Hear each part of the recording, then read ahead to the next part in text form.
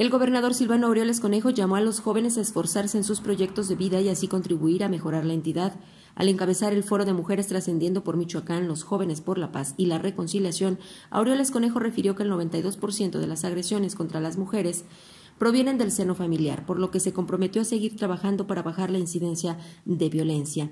Conminó a los jóvenes a estudiar y trabajar con excelencia para así contribuir desde su trinchera al desarrollo de Michoacán. Aseguró que el papel que juega la juventud será esencial para aspirar a mejores condiciones de bienestar y paz. Luego de compartir algunos detalles sobre su historia de vida, el mandatario estatal les pidió alejarse del mal y destacar como una generación que deje cosas productivas para la entidad. Yasmin Ferreira, respuesta.